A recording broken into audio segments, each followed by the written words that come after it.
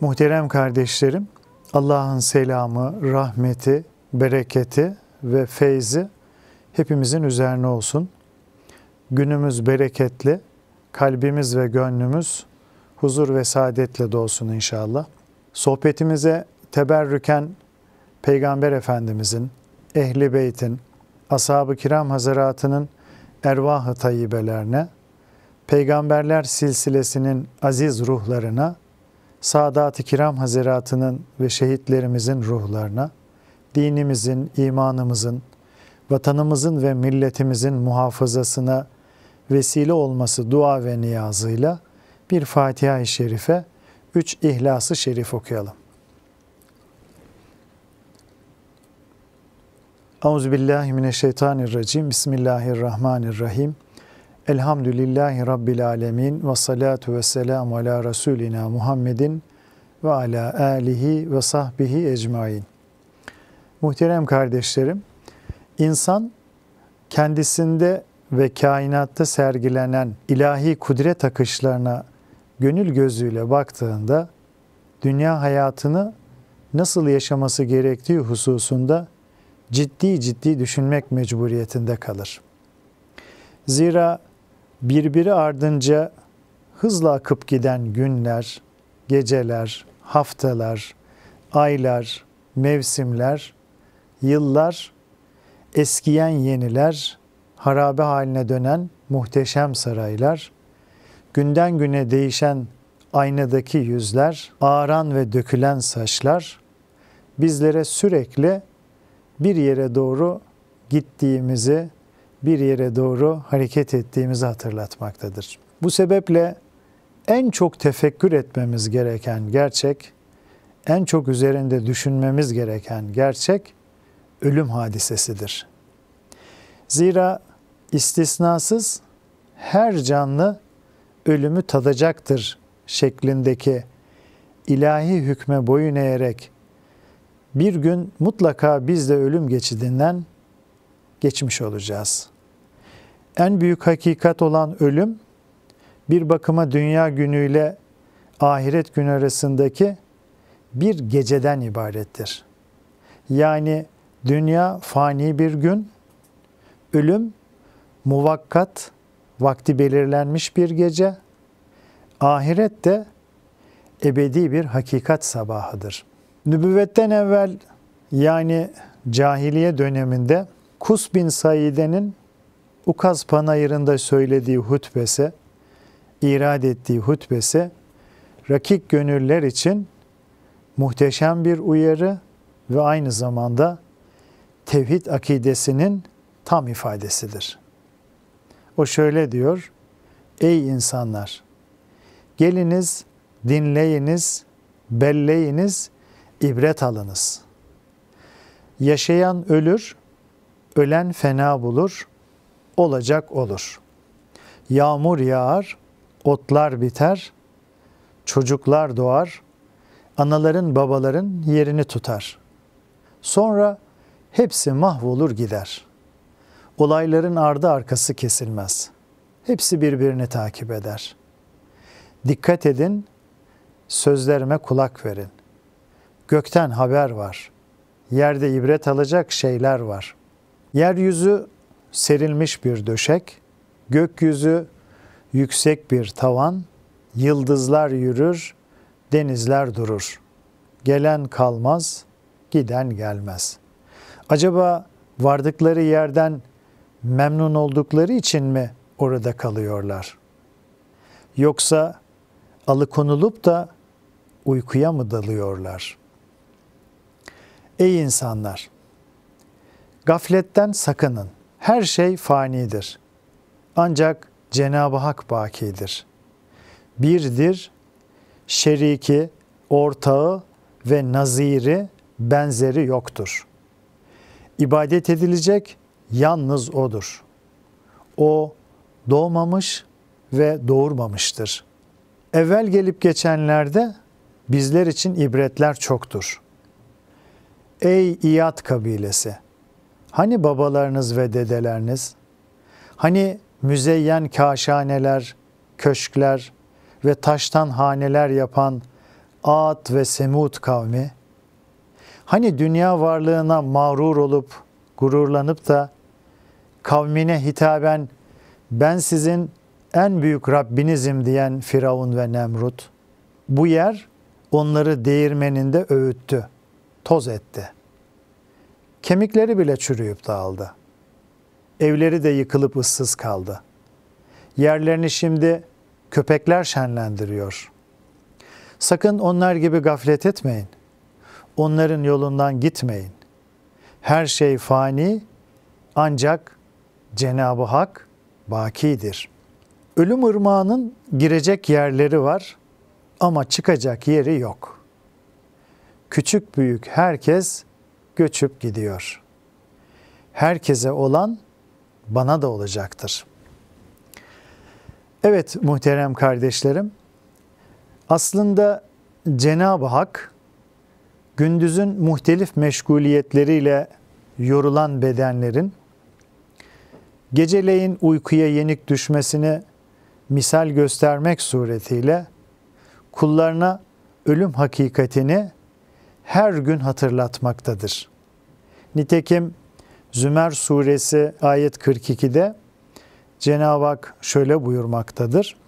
Allahu yeteveffel enfuse hine mevtiha velleti lem temut fi menamiha feyumsikulleti kada aleyha el mevte ve yursilul uhra ila ecelin müsemma inne fi zalike le ayatin li kavmin yetefekkerun. Allah ölenin ölüm zamanı gelince ölmeyenin de uykusundayken canlarını alır da ölümüne hükmettiği canı alır, ötekini muayyen bir vakte kadar bırakır. Şüphe yok ki bunda iyi düşünecek bir kavim için ibretler vardır. Muhterem kardeşlerim, Peygamber Efendimiz sallallahu aleyhi ve sellem İslam davetini ilk açıkladığı günlerde Safa tepesinden Kureyş halkına seslenirken bu hakikati şu sözleriyle ifade buyurmuşlardır. Efendimiz sallallahu aleyhi ve sellem siz uykuya dalar gibi öleceksiniz. Uykudan uyanır gibi de dirileceksiniz. Kabirden kalkıp Allah'ın huzuruna varmanız, dünyadaki her hareketinizin hesabını vermeniz muhakkaktır. Neticede hayır ve ibadetlerinizin mükafatını, kötü işlerinizin de ceza ve şiddetli azabını mutlaka göreceksiniz. Mükafat ebedi bir cennet, mücazat da yani ceza da ebedi bir cehennemdir buyurmuşlardır. Dolayısıyla muhterem kardeşlerim, hayat şu dünya hayatımızdan ibarettir. Kimimiz ölürüz, kimimiz yaşarız, bir daha diriltecek de değiliz diyen kafirler gibi nefsani arzularının esiri olmuş bir surette ve ahiretsiz bir anlayışla değil de o ki hanginizin daha güzel amel işleyeceğini denemek için ölümü ve hayatı yaratmıştır. Hakikatinden hareketle Cenab-ı Hakk'ın arzu ettiği bir şekilde Kur'an ve sünnet istikametinde yaşamamız zaruridir. Kimsenin inkar edemeyeceği, kaçınılmaz bir gerçek olan ölüm vakasından gafil kalmayalım diye Peygamber Efendimiz sallallahu aleyhi ve sellem biz ümmetini pek çok vesileyle tefekkürü mevte yani ölümü düşünmeye, ölümü tefekkür etmeye teşvik ederek şöyle buyurmuşlardır. Ölümü ve öldükten sonra ceset ve kemiklerin çürümesini hatırlayın. Ahiret hayatını isteyen dünya hayatının süsünü terk eder. Resul-i Ekrem sallallahu aleyhi ve sellem Efendimizin terbiyesinde yetişmiş olan ashab-ı kiram, tefekkürü mevt konusunda öyle bir kalbi hassasiyet kazanmışlardı ki, umumiyetle gördükleri her şey onlara dünyanın faniliğini, kabri, kıyameti, hesabı ve azabı hatırlatıyordu. Bir gün Abdullah İbni Mesud radıyallahu an tabiinden dostlarına dedi ki, sizler Resulullah'ın ashabından daha çok oruç tutuyor, namaz kılıyor ve salih amellere gayret ediyorsunuz. Ancak onlar sizden daha hayırlıydı. Dostları da diyor ki, peki bu nasıl olur diye sorduklarında, onlar dünyaya karşı sizden çok daha zahit, ahirete de sizden çok daha rağbetliydiler buyuruyor. Yani dünyaya karşı zahit olması, dünya nimetleriyle meşgul olmak ama onu kalbine koymamak anlamında değerlendirilmeli muhterem kardeşlerim. Yine Muhammed bin Kâb el-Kurezi radıyallahu anh da şöyle anlatır. Bir zamanlar Ömer bin Abdülaziz ile Medine-i Münevvere'de karşılaşmıştım diyor. O vakit gayet yakışıklı, terü taze bir gençti ve bolluk içinde yaşıyordu. Daha sonra halife olduğunda yanına gittiğimde izin isteyip içeri girdim. Onu görünce çok şaşırdım ve yüzüne şaşkın şaşkın bakmaya başladım diyor. Bana ey Muhammed niçin öyle hayretle bakıyorsun deyince ey müminlerin emiri renginiz uçmuş, bedeniniz yıpranmış, saçlarınız ağarmış ve dökülmüş. Sizi bu halde görünce hayretimi gizleyemedim diyor. Bunun üzerine Ömer bin Abdülaziz bana şöyle dedi diyor. Ey Muhammed beni kabre konulduğumdan üç gün sonra görsen kim bilir ne kadar şaşıracaksın. O zaman karıncalar gözlerimi çıkarmış, gözlerim yanaklarımın üzerine akmış, ağzım burnum kan ve irinle dolmuş. İşte o zaman beni hiç tanıyamaz ve daha çok şaşırırsın demiş. Ve şimdi bunları bırak da sen bana İbn Abbas'ın Resulullah sallallahu aleyhi ve sellem'den rivayet ettiği hadisi tekrar et diye ona bu şekilde cevap vermiş. Muhterem kardeşlerim, Peygamber sallallahu aleyhi ve sellem Efendimiz bir hadis-i şeriflerinde buyuruyorlar ki Ekthiru min hazimil lezzat bütün zevkleri öyle bir bıçak gibi kesen ölümü çokça hatırlayın buyuruyor. Tabi ölümü aklından çıkarmayıp layıkıyla tefekkür edebilen kimse fani lezzetlere, ahiret yolcusu olduğunu bilen kimse de dünya misafirhanesindeki oyuncaklara aldanmaz. Onlarla oyalanıp vakit kaybetmez. Çocuklar nasıl deniz kenarında oynarken kumdan evler yaparlar. Onunla bir müddet oynar. Canları sıkılınca da kendilerini saatlerce oyalayan bu evi bir tekmeyle yerle bir ederler ya, işte onun gibi ya da yahut kuvvetli bir dalga gelir, o yapmış oldukları evleri yutu verir. İşte ölüm de aynen böyledir. Gelecek günlere dair nice hayaller kuran, nice planlar, projeler yapan insanoğlu ölümü hatırlayınca gönül ufkunu acı bir hüzün kaplar. Zihnindeki planları gerçekleştirmek üzere olan kimseler ha bugün ha yarın diye çırpınıp dururken ölüm her şeyi bir anda yıkıp dağıtıverir. Onca emek ve zahmet çocukların kumdan evleri gibi yok olup gider muhterem kardeşlerim. Tabi hal böyle olunca nefsani hayallerin dizginlerini büsbütün koyu verip ömrü ölüm gerçeğini unutarak yaşamaya çalışmak tabi büyük bir gaflet manzarasıdır. Nitekim Ebu Said el-Hudri radıyallahu anh'ın naklettiğine göre Efendimiz sallallahu aleyhi ve sellem yere bir çubuk dikmişti. Ee, sonra bunun yanına ikinci bir çubuk dikiyor. Biraz ilerisine de üçüncü bir çubuk dikiyorlar. Sonra da ashabına dönerek bunun ne demek olduğunu biliyor musunuz diye soruyor Efendimiz sallallahu aleyhi ve sellem. Onlar da her zaman yaptıkları üzere Allah ve Resulü daha iyi bilir diye karşılık veriyorlar. Efendimiz sallallahu aleyhi ve sellem kendisini büyük bir merakla dinleyen ashabına meseleyi şöyle izah ediyorlar. Bu birinci çubuk insan, ikinci çubuk onun eceli, üçüncü çubuk ise istek ve arzularıdır. İnsan kuruntular, hayaller peşinde koşup dururken ecel onun önünü keser ve onu alıp götürür buyuruyor. Muhterem kardeşlerim, ölüm herkes için muhakkak bir gün vaki olacak hakikat iken insanoğlunun sanki bu dünyada ebedi kalacakmış gibi beyhude meşgalelerle, anlamsız işe yaramayan meşguliyetlerle ömür sermayesini bitirmesi, tüketmesi hazin bir aldanıştır. Süfyan-ı Sevri Hazretleri insanın bu umumi gafletine şu hikmetli sözleriyle işaret etmektedir.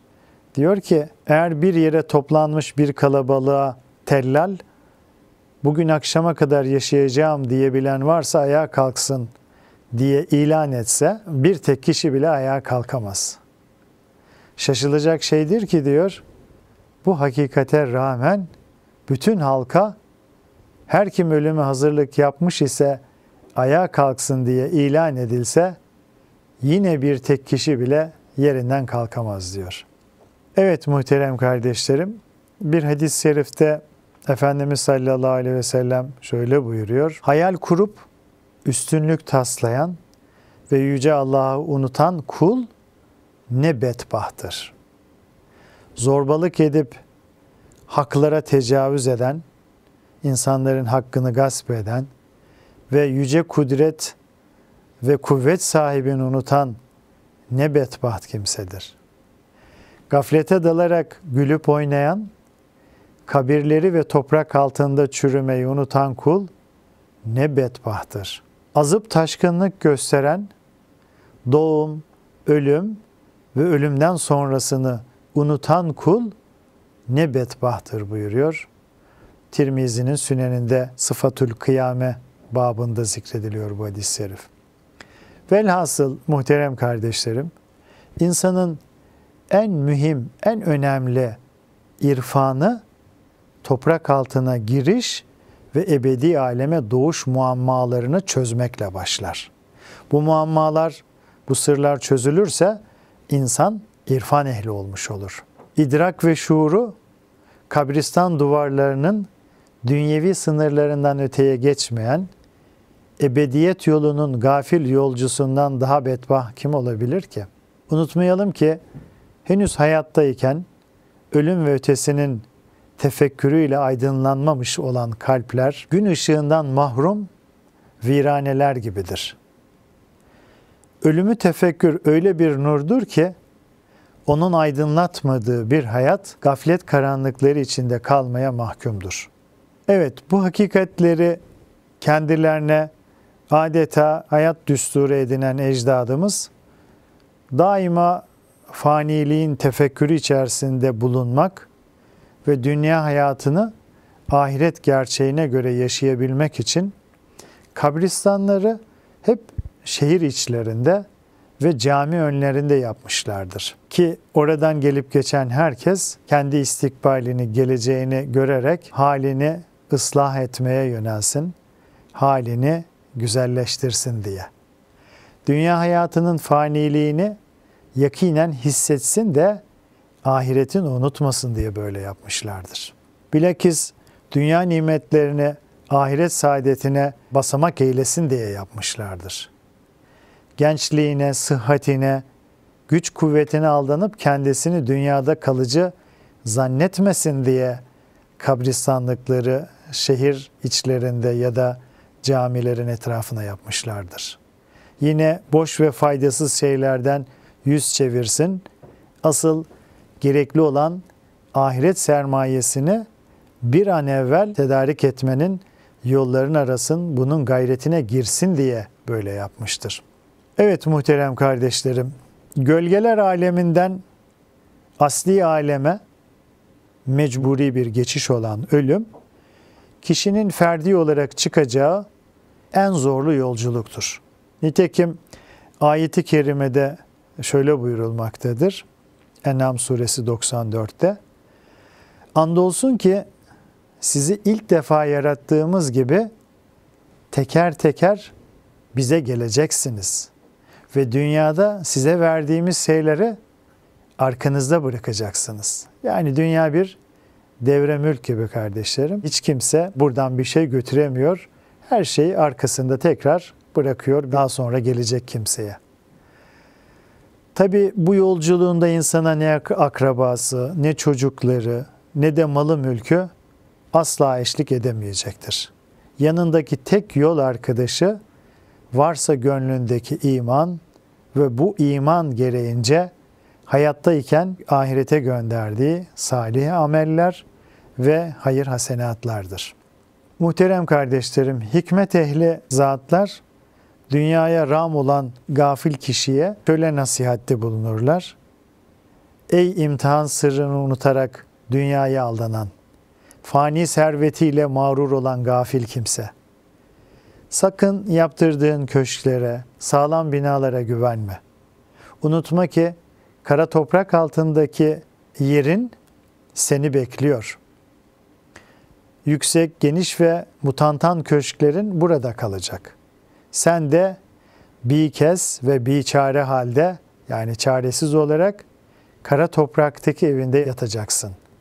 Oraya yalnızca sadece amellerinle ve kazandıklarının hesabıyla gireceksin.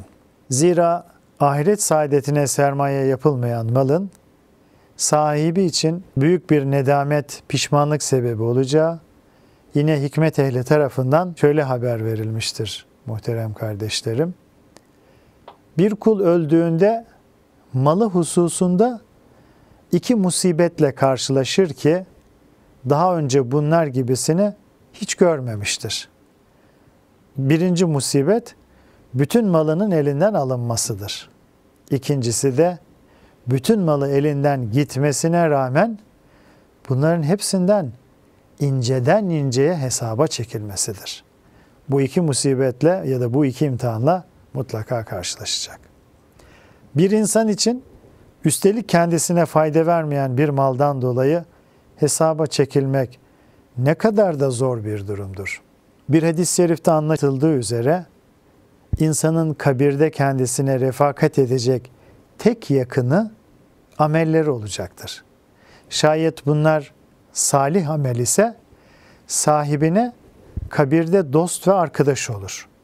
Onu güzel haberlerle müjdeler, kabrini genişletir, nurlandırır, sahibini zorluklardan, korku ve endişelerden, azaptan ve kötülüklerden korur. Fakat Allah muhafaza eylesin, Cenab-ı Hak korusun. Bu ameller kötüyse sahibini kabirde korkutur, ürkütür, karanlıklara boğar, kabri ona da dar eder. Velhasıl Hasan-ı Basri Hazretlerinin de dile getirdiği gibi asla unutmamak lazımdır ki etrafında gördüğün insanların çokluğu seni aldatmasın diyor Hasan-ı Basri Hazretleri. Zira sen tek başına öleceksin, tek başına furada, tek başına diriltileceksin ve tek başına hesaba çekileceksin. Hazreti Osman radıyallahu anh da bu hususta bizleri e, gafletten e, uyararak şöyle buyurmuştur. Ey Ademoğlu unutma ki dünyaya geldiğin günden beri ölüm meleği senin peşinde dolaşıp durmaktadır. Bir yandan da senin boynundan atlayarak bir başkasını yakalamaktadır. Sen dünyada bulunduğun sürece bu böyle hep devam edecektir.